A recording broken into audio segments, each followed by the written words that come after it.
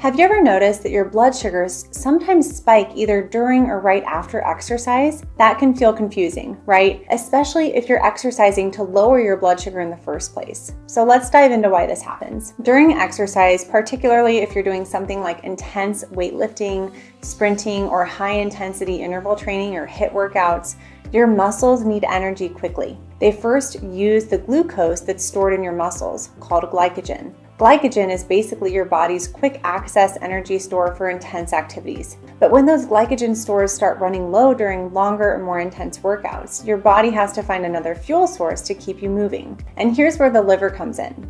It's like your body's backup energy generator. When your muscles need more fuel, your liver releases glucose into your bloodstream to keep you going. When you challenge your body through intense or prolonged exercise, it burns through your glycogen stores quickly, not just in your muscles, but in your liver too. Now, this is called hitting the wall in endurance sports.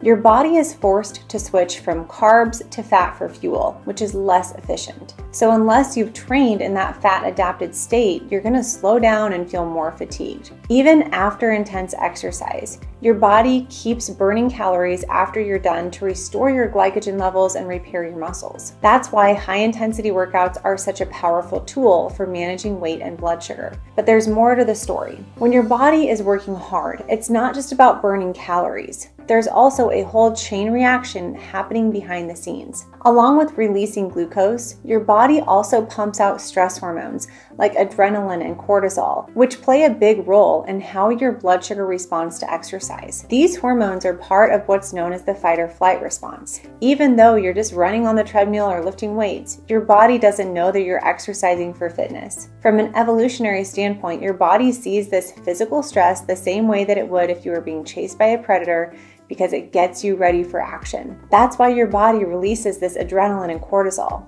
And these hormones signal your liver to release even more glucose into your bloodstream, ensuring that your muscles have the fuel that they need to keep performing. So if you see your blood sugars go up after or during an intense workout, don't panic. It's your body doing exactly what it's designed to do. For most people, the spike is temporary and your blood sugar levels will come back down as you cool down and recover. Plus, here's the good news.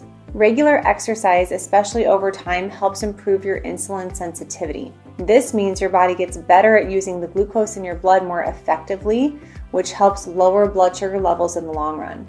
That's why exercise is such a powerful tool for managing type 2 diabetes and insulin resistance. Now, the type of exercise that you do can impact how your blood sugar responds. With more intense exercise, like lifting weights or doing HIIT workouts, you're more likely to see that temporary spike because your muscles are using more carbohydrates to fuel that intense activity. But if you're doing lower intensity or more steady state exercise like walking, cycling, or yoga, you might see a drop in your blood sugar levels. That's because your body is using a combination of fat and carbs for fuel and you have enough carbohydrates already in your bloodstream and your muscle glycogen to fuel that workout. You don't really need more from your liver. Lower intensity workouts cause less of that fight or flight hormone surge too, so you won't see that cortisol response. While you might notice a drop either during or after that low intensity exercise, you won't experience as many post exercise benefits because your body isn't actively working to restore glycogen levels